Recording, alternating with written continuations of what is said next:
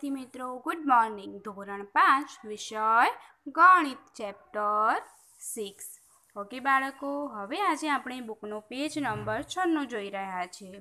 તો લખ્યું છે કે સામાન્ય અવયવ. પચીસના અવયવો લાલ રંગના વર્તુળમાં અને પાંત્રીસના અવયવો વાદળી રંગના વર્તુળમાં લખો. એટલે કે આપણે પચીસના અવયવો, એટલે કે પચીસના ગુણકો. એ લાલ રંગના વર્તુળમાં લખવાના છે અને પાંત્રીસના અવયવો વાદળી રંગના ખાનામાં લખવાના છે. તમે બંને વર્તુળના સામાન્ય જાંબલી ભાગમાં કયા અવયવો લખ્યા છે? આ પચીસ અને પાંત્રીસના સામાન્ય અવયવો છે, એટલે કે જે સામાન્ય અવયવ છે એને આપણે જાંબલી રંગના વર્તુળમાં લખવાના છે. અને પછી આપણે ચાલીસ અને સાહીઠના અવયવો પણ જોવાના છે.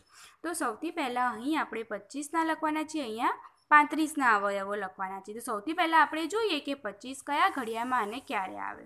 તો બાળકો, આપણે સૌથી જાણીએ છીએ સૌથી પહેલાં કે દરેક સંખ્યાને એક સાથે તો ગુણી શકાય, એટલે કે એક ગુણ્યા પચીસ બરાબર પચીસ. ઓકે, બાળકો? હવે પચીસ ક્યારે આવે બાળકો? તો બેના ઘડિયામાં નહીં, ત્રણના ઘડિયામાં નહીં, ચારના ઘડિયામાં નહીં અને પાંચના ઘડિયામાં. એટલે કે પાયો પાયો.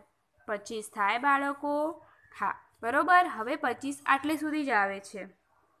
હવે આપણે જોઈ લઈએ કે પચીસના અવયવો કયા મળ્યા? તો એક પાંચ. હવે એકની એક સંખ્યા આપણે બીજી વાર લેવાની નથી. એટલે કે એક, પાંચ અને પચીસ. આ આપણને પચીસના અવયવો મળ્યા. જે આપણે લખી દઈએ અહીંયા એક, પાંચ અને પચીસ.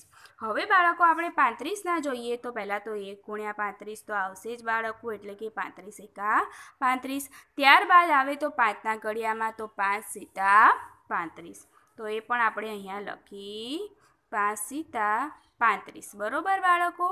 હવે આપણે જોઈએ કે આપણને પાંત્રીસના અવયવ કેટલા મળ્યા? તો એક, પાંચ, સાત અને પાંત્રીસ.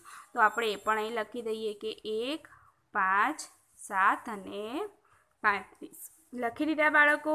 હવે આ બંનેના સામાન્ય અવયવ આપણે વચ્ચે લખવાના છે. તો સામાન્ય આપણને કયા મળ્યા? તો એક અને પાંચ. તો આ બંને આપણે અહીં લખી દઈએ. તો આ રીતે આપણે જોયું કે આપણે પચીસ અને પાંત્રીસના અવયવો પાડી અને સામાન્ય અવયવને અહીં લખી દીધા છે. બરોબર બાળકો? તો લખ્યા, હવે અહીં શું લખ્યું છે કે તમે સામાન્ય અવયવો કયા લખ્યા છે? તો કયા લખ્યા છે આપણે? સામાન્ય જાંબલીમાં એક અને પાંચ. હવે તમે ચાલીસના અવયવો લાલ રંગના વર્તુળમાં અને સાહીઠના અવયવો વાદળી રંગના વર્તુળમાં લખો. તો હવે આપણે ચાલીસ અને સાહીઠના આ જ વર્તુળમાં કરીને જોઈ લઈએ. સૌથી પહેલાં આપણે ચાલીસના કરીએ.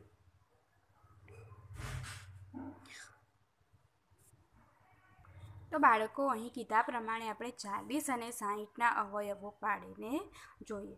તો સૌથી પહેલાં આપણે ચાલીસના અવયવો અહીં પાડીએ તો સૌથી પહેલાં એક ગુણ્યા ચાલીસ બરોબર ચાલીસ આવે બાળકો?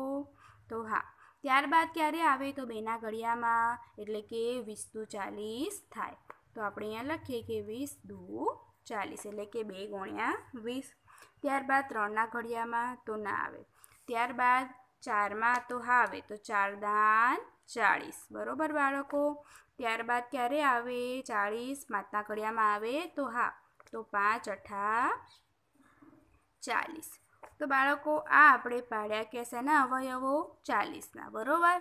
હવે અહીંયા કેટલા અવયવો આપણને મળ્યા છે ચાલીસના તો આ રીતે આપણે યુ આકાર કરીને જોઈ લેવાનું. એકને એક સંખ્યાને બીજી વાર લખવાની નહીં. તો અહીં આપણે જોઈએ કે એક, બે, ચાર પાંચ, આઠ, દસ, વીસ અને ચાલીસ આપણને ચાલીસના અવયવો મળ્યા. હવે આપણે સાહીઠના પાડીએ તો જુઓ બાળકો, એક ગુણ્યા સાહીઠ, ત્યારબાદ બેના ઘડિયામાં તો ત્રીસ દુ સાહીઠ, બરોબર ત્રણના ઘડિયામાં તો વીસ તરી સાહીઠ, બરોબર બાળકો, ત્યારબાદ ચારના ઘડિયામાં તો પંદર ચોક સાહીઠ, બરોબર બાળકો, પછી પાંચમાં તો બાર પંચા સાહીઠ અને પછી છેલ્લે છના ઘડિયામાં તો દસ ચંક સાહીઠ. તો આ આપણને છના અવયવો સાહીઠના અવયવો મળ્યા. તો એ આપણે અહીંયા બધા લખી દઈએ કે એક, બે, ત્રણ, ચાર, પાંચ, છ, દસ, બાર, પંદર, વીસ, ત્રીસ અને સાહીઠ. હવે બાળકો આપણને શું કીધું છે કે સામાન્ય અવયવ શોધીને વચ્ચે લખી દેવાનો.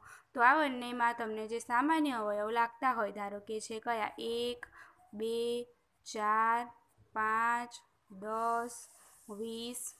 બરાબર? હવે એક, બે, ચાર, પાંચ દસ અને વીસ. આ શું છે? સામાન્ય અવયવ. આ સામાન્ય અવયવોને પછી તમે આ બંનેમાંથી ચેક એટલે કે રફ કરી દો તો ચાલે. તો આપણે આ રીતે શું જોયું? ચાલીસ અને સાહીઠના અવયવો પણ જોઈ લીધા બાળકો. હવે અહીંયા શું કીધું છે તમને? તમે બુકમાં જુઓ. હવે તમે ચાલીસ અને સાહીઠના અવયવો લાલ રંગના વર્તુળમાં અને સાહીઠના અવયવો વાદળી રંગના વર્તુળમાં લખો. બંને વર્તુળોના સામાન્ય જાંબલી ભાગમાં અને કયા અવયવો લખ્યા છે? ચાલીસ અને સાહીઠના મોટામાં મોટા સામાન્ય અવયવો લખો. તો આ વર્તુળમાં તમારે બાળકો આ રીતે અવયવો પાડીને લખી દેવાના છે. જો મેં અહીંયા લખ્યા છે, તમે સ્ક્રીનશોટ પાડીને પણ આમાં લખી શકો છો. તો તમારે આ રીતે આ ચાલીસ અને સાહીઠના આમાં લખી દેવાના અને સામાન્ય જે છે, એ બાળકો તમારે આ જાંબલી રંગમાં લખી દેવાના છે. હવે કીધું છે કે મોટામાં મોટો સામાન્ય અવયવ આપણને કયો મળ્યો બાળકો? તો મોટામાં મોટો સામાન્ય અવયવ કયો છે બાળકો? વીસ. તો અહીં આપણે લખવું પડે કે મોટામાં મોટો સામાન્ય અવયવ વીસ છે. હવે બાળકો, આપણે આગળનું પેજ દેખીએ તો જુઓ, શું કીધું છે? અવયવ વૃક્ષ. અવયવ વૃક્ષને જુઓ, હવે તમે આના જેવું બીજું વૃક્ષ બનાવી શકો છો. તમે જુઓ, અહીંયા એક અવયવ વૃક્ષ છે, નીચે લખ્યું છે અઢાર. તો અઢારના ગુણક અહીંયા લખ્યા છે કે નવ દુ એટલે નવ દુ અઢાર થાય, બરોબર બાળકો. બેનું તો શું થાય? બે, એકા બે, એ ના લખીએ તો ચાલે પણ અહીંયા નવના આગળ જુઓ તમે, કેટલા છે? ત્રણ તરી નવ, એટલે કે ત્રણના ગુણકો, એટલે ત્રણના અવયવો લખેલા છે. એવી જ રીતે આપણે અહીં આગળ લખવાનું છે બીજી રીતે. તો અહીંયા નવ દુ અઢાર લખ્યું છે, તો બીજા આઠના કયા આવે બાળકો? યાદ કરો તમે. તો કયા આવે? તો હા, છ તરી અઢાર. હવે ત્રણનું તો ત્રણ એકા ત્રણ, પણ છના પડશે. તો છના કયા પડશે? હા, બે તરી છ. એવી જ રીતે આપણે અહીંયા ચોવીસના જુદી જુદી રીતે બનાવવાના છે, તો આપણે બનાવી દઈએ. ચલો આપણે અવયવ વૃક્ષ.